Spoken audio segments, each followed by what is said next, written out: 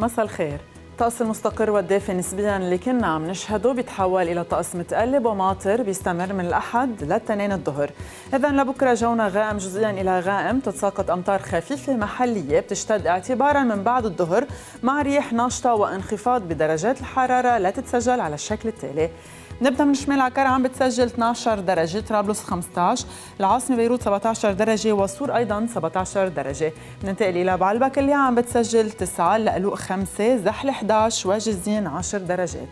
نسبة رطوبة ساحلا بتوصل ل 80% الرياح السطحية جنوبية غربية ناشطة بتتراوح سرعتها بين 30 وبتوصل لل 50 كم بالساعة. أما حال البحر فمرتفع الموج.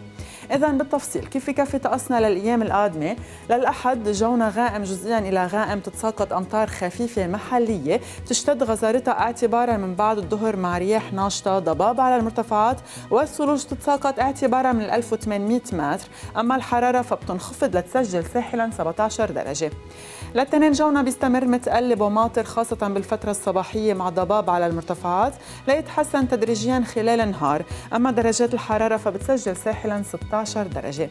للثلاثة جونا بيرجع مستقر غائم جزئيا خلال النهار. لتتأثر أجواءنا مساء بمنخفض جوي جديد. ليتحول جونا إلى ماطر بين الثلاثة ليلا والأربعة ودرجات الحرارة بترتفع نهار الثلاثة لتسجل 17 درجة.